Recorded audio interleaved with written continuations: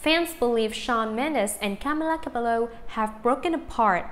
What's the truth? As we know, 2020 has been the kind of relative that always causes us to give bad news. This year has been many splits including Liam Hemsworth and Miley Cyrus, Travis Scott and Kylie Jenner, and so is Shawn Mendes and Camila Cabello. Were they official?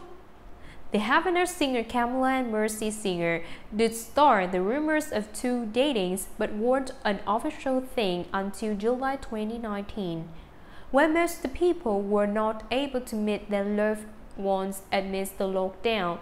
These two lovers spent most of time quarantining at Camila's home until Shawn decided to go back to his home in California.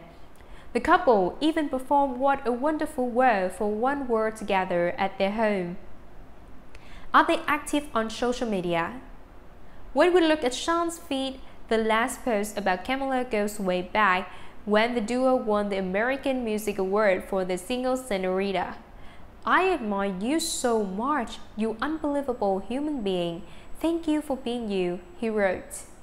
As for Camila, she captioned a red hat emoji when she shared a pic of herself, Shawn and two pups comfy on the couch. What could be the reason? Among those close to them revealed that both the singers were working on new albums and that they needed some alone time from each other. The sources say that Camila was supposed to go to Los Angeles with Shawn, but have decided to take a break. Now that's gotta be sad. As for Camila and Shawn, we love to hear your music. May that be together or not, we love you. Now, don't we?